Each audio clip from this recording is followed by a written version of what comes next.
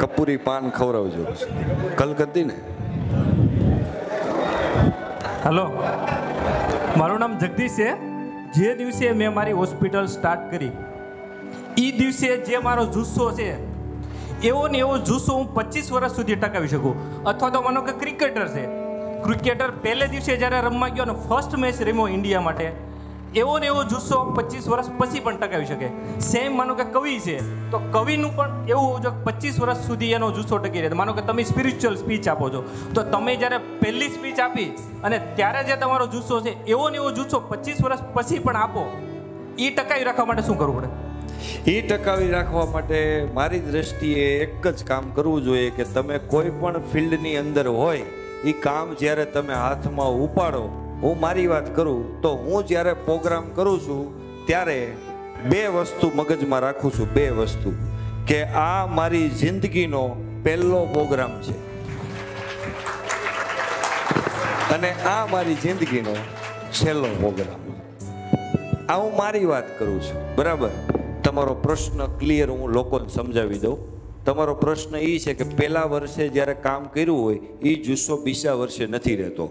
એ ત્રીજા વર્ષે નથી રહેતો. એ જુસ્સો ઓછો થઈ જાય છે. જુસ્સો ઓછો એટલા માટે થઈ જાય છે કે દિવસે ને દિવસે તમે એવું માની લ્યો છો કે મને ધીમે ધીમે ધીમે ધીમે ધીમે ધીમે બધી ખબર પડવા માંડી છે. એટલે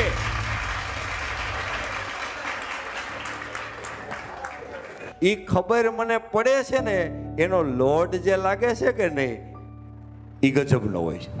જીવનમાં ક્યારેય ગંભીર ન રહેવું, ગાંડાની જેમ રહેવું, એનાથી બે ફાયદા થાય. સામેવાળો કેવો છે ને એ આપણને ઓળખાઈ જાય. અને બીજી વસ્તુ સામેવાળો આપણને ગાંડો સમજીને બીજું કાંઈ ઓળખવાનું ચાલુ ન કરે. એટલે આપણને ખબર નથી પડતી, એમ આપણે રહેતા શીખીને, તો ઘણી બધી ખબર પડી જાય. બહુ ભલા માણા અહીંયા કોઈને લાંબુ ટકવાનું નથી. બહુ જીવનમાં લોડ લઈને આટો ન મારવો. તમારો સવાલનો જવાબ એટલો છે, ખબર પડે છે ને એ ખબરને ડિલીટ મારી દો એટલે બહુ બધી તમને ખબર પડી જાય. પારસભાઈ, તમે આ સરસ જે મોટિવેશનલ સ્પીકર છો એટલે તમે હમણાં એક સિદ્ધાંત કીધો કે ખાસ કરીને પૈસાથી બધા જે છે એને સંતોષ મળી જાય એવું જરૂરી નથી એવું આપે કીધું. તો હું એવું કહું છું કે તમે એમ કીધું કે ભાઈ બાળકો કે પત્ની કે બધા હસતા મસતા રહે તો એ લાઈફ જે છે એ સેટિસ્ફાઈડ છે. એને અર્થશાસ્ત્રમાં તુષ્ટિગુણનો સિદ્ધાંત કહેવાય. તો સફળ થવા માટેનો જે આ પ્રિન્સિપલ તમે જે કીધો છે એ પ્રિન્સિપલ મુખ્યત્વે કોઈ ડૉક્ટર હોય કોઈ વકીલ હોય કે કોઈ પણ વ્યક્તિ હોય તો એ એના ફિલ્ડને પ્રાયોરિટી આપવા માટે.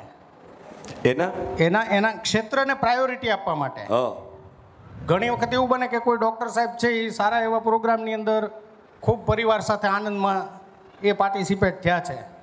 અને અચાનક એને ફોન આવે હોસ્પિટલથી તો એ જે પ્રિન્સિપલ છે એ મારી દ્રષ્ટિએ હું એવું કહું છું કે એના જો પ્રોફેશનને ન્યાય આપવા જાય તો એ એના પરિવારને ન્યાય આપી શકતો નથી. ઘણી વખત એ પરિવારમાં એનું ટાઈમ ન ફાળવી શકે. એવું છે ભાઈ. એટલે આ જે પ્રિન્સિપલ છે એમાં થોડું અસમંજસતા જેવું છે.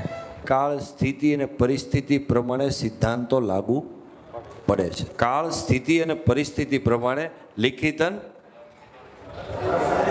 જય દ્વારકાધીશ. જય દ્વારકાધીશ. એટલે તમે તમારા પરિવાર સાથે હોય અને તમે ડોક્ટર હોય બરાબર? એટલે દર્દીનો ફોન આવે કે ભાઈ મને ગુંબડું થયું છે. તો ડોક્ટરને દર્દી પાસે ન જવાય. સમજાણું તમને? સ્થિતિ શું છે? કે ભાઈ દર્દીને ગુંબડું થયું છે તેમાં કાંઈ મરી નહીં જાય. એક ઘરવાળી યારે ડિનરમાં આવ્યા છે તેનું ગુંબડાને કાંઈ થઈ નહીં જાય. પણ કે મારા ફાધર સિરિયસ છે, તો એ ડૉક્ટરના ફાધર પણ સિરિયસ હોય, બરાબર? તો એને પેલા ઓલાના ફાધર બચાવવા જવું જોઈએ. મારો કહેવાનો મતલબ એ સ્થિતિ, પરિસ્થિતિ, કાળ, સમય પ્રમાણે સિદ્ધાંતો લાગુ પડે છે. પહેલાં હું તમને કહી દઉં, હું એટલો વિદ્વાનનો દીકરો નથી. હું તમને ક્લિયર વાત કહું, બરાબર? પણ મારા અનુભવમાં જેટલું આવ્યું છે, બરાબર? એના હિસાબથી હું તમને દે જવાબ આપવાનો પ્રયાસ કરીશ એમ. એટલે આમ બેઠેલા વ્યક્તિઓ એને એમ થાય કે આટલો બધો વિદ્વાનનો દીકરો છે, ગમે એ સવાલ પૂછે ને ગમે એટલે એવું ન થાય, એટલે ક્લિયર વાત કરી દો. બોલો. એટલે પારસભાઈ, એવું છે કે આ બધા પ્રોગ્રામો ઘણા બધા આવા મોટિવેશન સ્પીચમાં મેં ભાગ લીધો છે એટલે સાંભળ્યું છે. મોરારી બાપુની કથાઓ પણ ઘણી બધી સાંભળી, રૂબરૂ. થાય છે એવું કે પેલું સ્મશાનની વૈરાગ્ય આવી જાય ને આપણને, સ્મશાનમાં જાય એટલે કે આ જીવન ખોટું છે ને આ બધું અંતે તો આપણે આમ થવાનું છે. પછી આ બધું ભૂલાઈ જાય છે સાલું. હવે એ યાદ રાખવા માટે શું કરવું? અમુક અમુક પોઈન્ટ ભૂલાઈ જાય.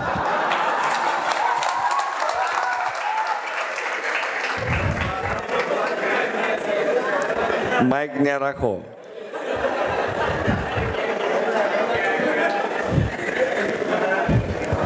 જો એડ્રેસ વગરની ગાડીમાં ક્યારેય બેસવું નહીં. સમજો?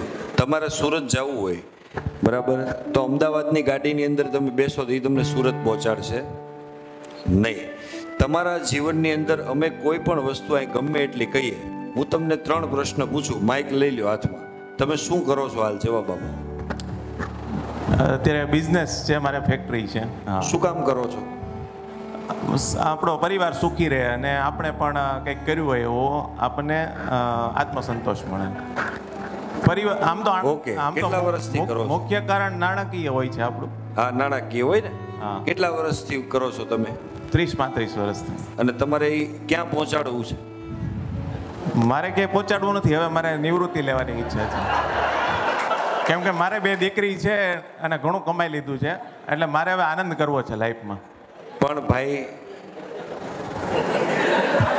હું શું કહું તમને? શું કહું? આ બધી વસ્તુની અસર હું અહીંયા હું તમને ગાડી કેમ ચલાવી? એનું હું તમને નોલેજ આપું. એટલે મારે સાંભળો ના ના હું આ બધાને નોલેજ આપું ગાડી કેમ ચલાવી? આપણી ગાડી પછી જુદે પાટે ન જાય એટલા માટે હું કહું ના ના સીતે પાટે જ છે. સાંભળો તો ખરી. કે મારે લાઈફ આનંદથી અને આ વસ્તુ મગજમાં રાખીને કેમ જીવવી એની જ વાત કરું છું તમને. એની જ વાત કરું છું. એની જ વાત કરું. મેં વાત કરી, ગાડી કેમ ચલાવવી? બરાબર? હવે કોઈ વ્યક્તિ આમાંથી ઊભો થાય કે તમે ગાડી ચલાવવાનું બહુ સરસ મજાનું નોલેજ આપ્યું છે, બરાબર? પણ મેં તો બધી જગ્યાએ આવું નોલેજ સાંભળ્યું છે, ગાડી આમ ચલાવવી જોઈએ, તેમ ચલાવવી જોઈએ, બરાબર છે? તો ગાડી મને ચલાવતા ફાવતું નથી. આ તમારો પ્રશ્ન છે ને? એક્ઝેક્ટ બરાબર? એના માટે ગાડી લઈને નીકળવું જ પડે. એના માટે ગાડી લઈને નીકળવું પડે. તો મેં અહીંયા પહેલી વાત કરી કે કોઈ પણ વ્યક્તિ તમારા કાનની અંદર ભૂલ તમારી જણાવે છે, તો તમારે એને એની ભૂલોને સાંભળવાની છે અને એની ઇજ્જત કરવાની છે. આ વાક્ય મેં કીધું, આ વાક્યને એપ્લાય તો મૂકવું પડે. તમારી વૃત્તિ ઉપર, તમારી પ્રકૃતિ બદલે પ્રકૃતિ ઉપર કાર્ય અને કાર્ય ઉપર પરિણામ. વ્યક્તિ હરેક વ્યક્તિ પોતાનું પરિણામ બદલવામાં મથ્યો છે. પોતાની વૃત્તિ નથી બદલવી. આવું હું કરું છું તો આવું કેમ થતું નથી? એ ગોતવું નથી. પોત કીડો પેદા કરો કે મારે ભૂલું સાંભળવી છે. આ એક ગુણ ડેવલપ કરી લો હવે દિલથી કહેજો દિલથી કહેજો કે તમને ખોટું લાગે છે. અત્યારે નહીં. જીવનમાં કોક માણા કે તો ખોટું લાગી જાય તો ઘણી વખત આડો હાથ લાગી જાય છે. લાગી જાય. સાંભળો, હવે એ તમારી સાંભળવાની ક્ષમતા નથી, બરાબર? તો અમે શું કરી રિયલ વસ્તુ, તમે એને ખાલી ડેવલપ કરી લેહો ને, બરાબર? આગ્રાની હોસ્પિટલની અંદર ગાંડાની હોસ્પિટલ છે, એમાં દસ બાર ગાંડા જતા હતા, કેન્ટીનમાં ત્રણ ચાર ડોક્ટરો ચા પીતા હતા, એમાં ગાંડા જતા હતા ને, એમાંથી એક ગાંડો બોલ્યો, ડોક્ટરની સામે જોઈને, કે જો ચાર ગાંડા ચા પીવે. હવે આમાં ગાંડા કોણ છે? સમજાણું તમને આખી વસ્તુ કે તમારે આપણે પોતાને આ વસ્તુ કરવી પડે છે. અને આમાંથી આ આ એક્ઝામ્પલ તમને આપ્યું ગાંડાનું. એ તમે જ્યારે સાંભળશો ને સાંભળશો ને બરાબર? તમારું નામ શું? જય પ્રકાશ એટલે જેપી કે છે બધા. જેપી. ઓલા જેપીભાઈ નથી, ઓલા જેપીભાઈ નથી, એમાં કાંઈ લઈ લેવાનું નથી. જેપીભાઈ મારું બહુ બગાડ્યું છે. જેપીભાઈ મારું આમ છે જેપીભાઈ સંબંધમાં બરાબર નથી જેપીભાઈ પ્લાસ્ટિકનો ધંધો હરખો કરતા નથી જેપીભાઈ તેમ છે આવું બધું જેપીભાઈનું જ્યારે કાનમાં આવશે ને જેપીભાઈને જે દિવસે ખબર પડી જાય કે જેપીભાઈ કોણ છે તેથી જેપીભાઈને દુઃખ નહીં થાય, જેપીભાઈ એના ઉપર હસશે એ ગાંડા જેમ ઓલા ડૉક્ટરની મજાક કરતા હતા ને, તો ડૉક્ટરને ખોટું એટલા માટે નહોતું લાગતું, કારણ કે ડૉક્ટરને ખબર છે ગાંડો એ છે, અમે નહીં. ઝેપીને ખબર તો પડવી જોઈએ ને ઝેપી કોણ છે? એ ઝેપીને જે દિવસે ઝેપીની ખબર પડી જાય એ ત્યારે જ પડે કે તમારી સાંભળવાની ક્ષમતા વધે. હંમેશા વધારો, હંમેશા. ચેન્જ થઈ જાય. બધાયનું લાગે. રાઈટ સેટિસ્ફેક્શન વાળો જવાબ છે. એકદમ એકદમ. થેન્ક ઓકે ડેવલપ કરો. ચાલો. પ્રશ્ન નથી પૂછવો. પાસઠ વર્ષની ઉંમર થઈ વડીલ તરીકે એક સલાહ આપું. અઢી કલાકથી સાંભળું છું. આવો કાર્યક્રમ કરવો પણ પ્રશ્નોત્તરી બંધ રાખવી. આભાર. એનું કારણ આપી દો પૂછતા બી દીવાના કહેતા બી દીવાના.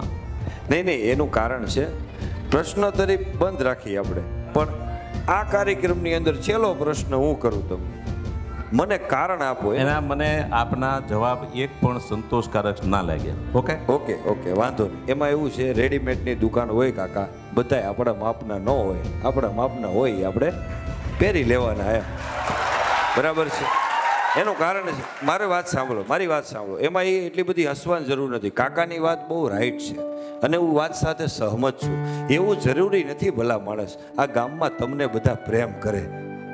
કે તમને બધા માને. મોરારી બાપુ જંગલમાંથી પસાર થયા હતા ને, માયાભાઈ ગાડીનો કાચ ઉતારીને પૂછ્યું હતું અને કીધું હતું કે અમને ઓળખો છો તમે? ત્યારે એ જંગલની અંદર, ગીરના જંગલની અંદર એક માણા હતો ને, એણે આમ કરીને આમ નજર માર્યું બાપુને સામે જોઈને કીધું ત્યારે બાપુએ વ્યાસપીઠ ઉપરથી કીધું કે બધાએ ઓળખે છે, એવો ફાંકો રાખવો નહીં. આ કાકા જે બોલ્યા ને, મારો ઈશ્વર એના હૃદયમાંથી બોલાવ્યો કે તું ગમે એટલા પ્રોગ્રામ કરીને તો પાંધી તારે ફાંકો રાખવાની જરૂર નથી. અને ગમે એવા જવાબ કદાચ તારા મોઢામાંથી નીકળી જાય ને, તો તારે હોશિયારી કરવાની જરૂર નથી. હો જણા હોય ને, એમાં નવાણું ને ગમતા હોય, એમાં એકને અસંતોષ પણ થતો હોય. આ શીખ છે. આ કાકા શીખવાડે છે. એને એના પ્રત્યે મારે કંઈ વિરોધ કરવાની જરૂર નથી. એનો ખૂબ ખૂબ આભાર કે એણે જાહેરમાં આવીને મને કીધું. ધન્યવાદ છે. આ કાર્યક્રમને આપણે વિરામ આપીએ. જય હિન્દ. જય ભારત. આપણે ખૂબ ખૂબ શાંતિથી આ કાર્યક્રમને સાંભળો. આપ સૌનો હૃદયથી હું આભાર વ્યક્ત કરું છું. ધન્યવાદ.